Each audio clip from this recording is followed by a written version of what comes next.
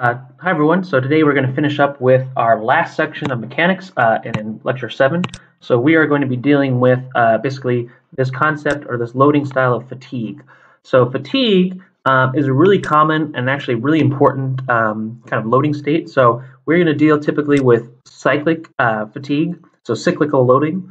So you can imagine um, there's a common, you know, really, really common scenario. So if you have a bridge, I shouldn't try to draw, but, you know, uh, so if I have a bridge and I have cars going across, you know, or people walking across each of these days, you know, typically, again, there's some stress, again, cyclic loading, so people come on, uh, so you're loading it here, and then they're uh, releasing that load. So the load that you're applying can be cyclical over time.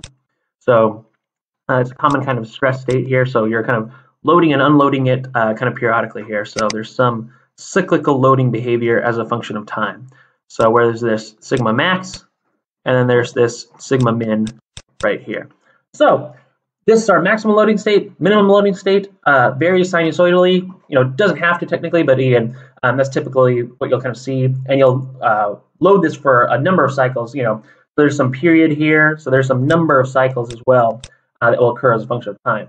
So what we want to do is we want to kind of figure out, well, how many cycles NF will it take before my materials fail? So we're looking at trying to figure out for a given sigma max and a given sigma min and a crack size or crack flaw A, uh, A naught, initial crack size, how many cycles to failure uh, will this material, or how many cycles will it take for this material to fail?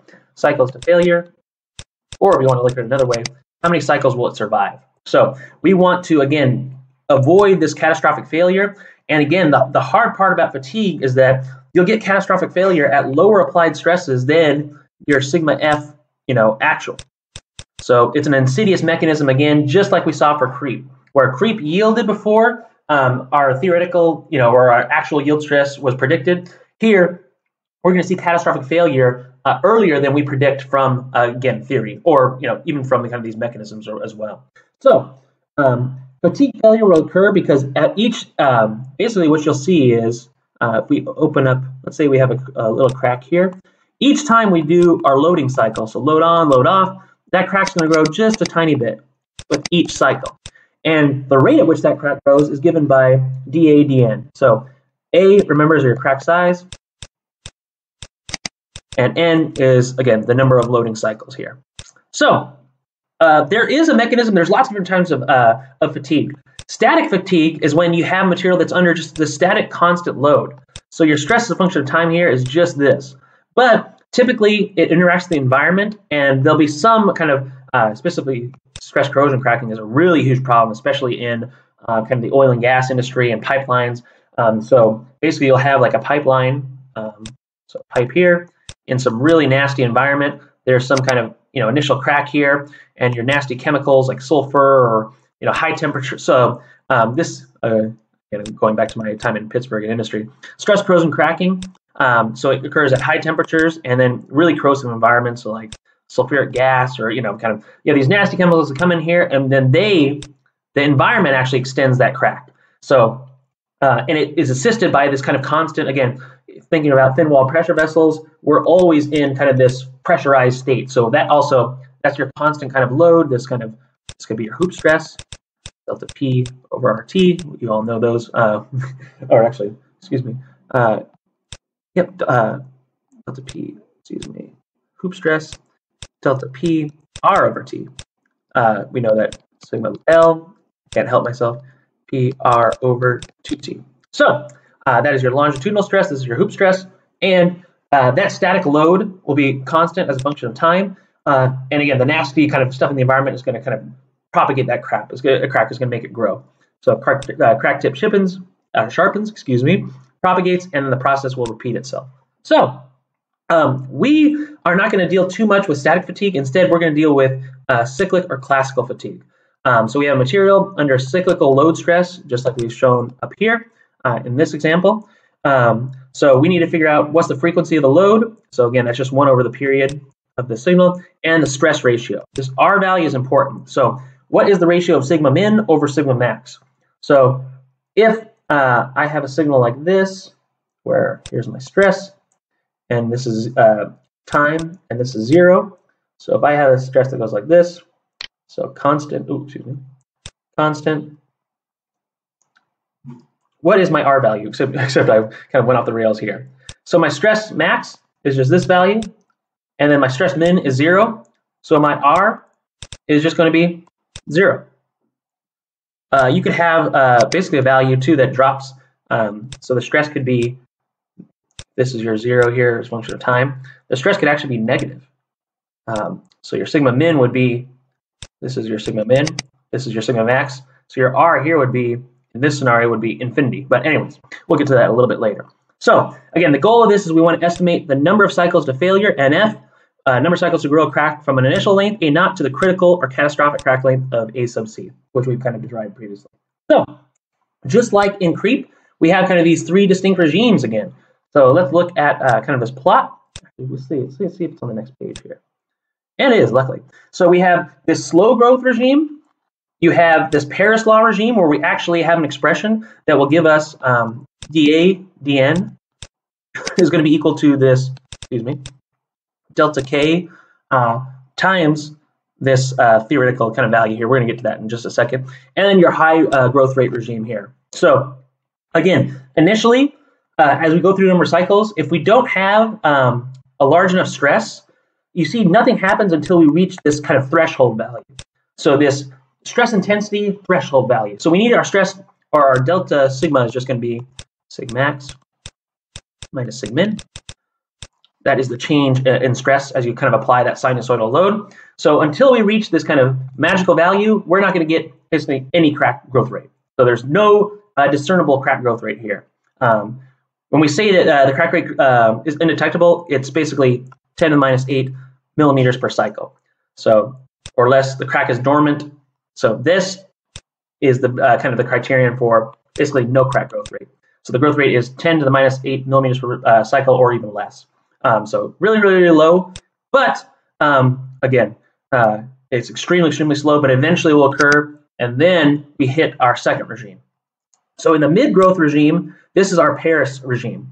So we actually have a law um, that kind of describe what is, we have a, basically an expression. This is a linear kind of, or it appears kind of as linear once you kind of plot this. Um, we will generate an expression that tells us how will the uh, change in crack, uh, how will our crack size grow as a function of the number of cycles? And we'll get an expression we can predict that here. Now, once we hit the region three, just like with creep, you're at kind of this uh, uh high growth rate region. The material is just going to kind of instantaneously fracture and uh, crack, uh, and catastrophically fracture here. So we want to stay out of region three because once we hit region three, you can see this kind of this growth rate explodes in terms of your crack growth rate, and you're gone at this point. That material is done. It's fractured It's dead. So in the Paris law regime, we can actually uh, an expression, and that's what I was kind of trying to write here. So it is going to be dAdN. Let me reread. So in our regime two, in the Paris law regime, we're going to have an expression which is dA dN. I'm just going to keep this because we use that capital N cycles to failure. Some constant times delta K stress intensity to some scaling factor M. So again, we're going to have some power law relationship in here so we're going to kind of use that as our m exponent. So let's go on to the next page and see that a little bit more nicely drawn or written in LaTeX. That's it. C is just a constant, and m is going to, um, this is going to depend on, again, our material as well, uh, and also r. So again, all these, um, the one kind of annoying thing with, uh, or the one kind of aspect of, you know, kind of doing, dealing with fatigue is that a lot of these are dependent on a lot of material properties, as we're about to see in a second. So um, if we want to figure out what are the number of cycles to failure, we can just separate variables and integrate. So we know uh, from this, you know, delta k value that we kind of just introduced previously. So delta k, because we know that k IC is going to be equal to F times stress times square root of pi A. So if I want to see the change in stress intensity as a function of that cyclical loading behavior, it's a function of time, it's just going to be f times that change in loading, square root pi a. We plug that in, separate variables, and you'll end up with an expression like this. So we'll get back to this SN curves in a second. And after you do some integration, uh, again, use Mathematica, you'll end up with this really, really nice expression here. So we can see uh, we have the number of cycles to failure depends on AC, A naught, M, F, again, we'll typically say, approximate that as one.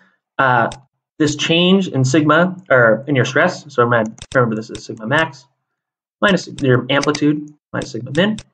Uh, and that's it.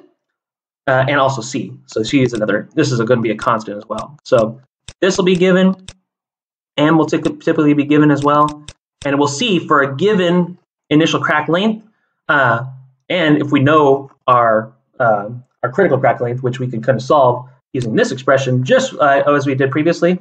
So again, we have A1C is equal to F times sigma. Here, this would be sigma max in your expression times square root by A. Just rearranging that again and getting our expression. So we could solve for what is your ACE, uh, what is your critical crack length for a given stress and a given stress intensity uh, uh, parameter. So it's just rearranging the expression there. So uh, we go ahead and we could continue on with that, and you could figure out how many, what are the number of cycles to failure. So that's basically it for fatigue. Um, once you get again into this high re regime, it's you know uh, basically you get these kind of um, the reason why you get that almost kind of exponential growth is because they um, basically these microvoids will coalesce. So all the cracks in your material, all these little um, all these different little micro cracks will start to kind of uh, basically combine at this point. So you have micro cracks combining, and then you'll get you know voids opening up in your material. And once the voids start to happen, you're gone. You're done. So uh, this is your kind of critical equation here that you're going to need uh, to solve fatigue problems. And again, you're going to use this to plug in uh, for a given A sub C. So that's it. That's the number of cycles to failure. Now, how do you use this um, basically in engineering you know, life? Well, you are going to basically develop or you'll use these SN curves. So these SN curves tell you for a given stress amplitude, this, so let's look at the blue curve. If this is my stress amplitude here, and if I scroll over, let me use a different color. I'm gonna use gray. So this is my stress amplitude. This will tell me once this point intersects with here, this is the number of cycles to failure for that red curve. If I kind of scroll along here, this is the number of cycles for the blue curve. And you can draw that for any different, uh, any parameter here. So for a given stress amplitude, which material is always going to, you know, uh, basically yield first? So you can see that for different stress amplitudes, you know, some of these materials are going to fail, some of these materials aren't going to fail. So for this stress amplitude, the green will fail first. There's the fewest number of cycles because it's here, here, and here. The red will survive. However, over here, lower stress amplitudes, you kind of see these different behaviors. So these SN curves are really useful uh, curves for you uh, in real life engineering to kind of see will your material survive for that particular application. So fatigue is a very common loading state. You can kind of just think of it in terms of like sitting on a chair and getting up from a chair, cars going across from a bridge.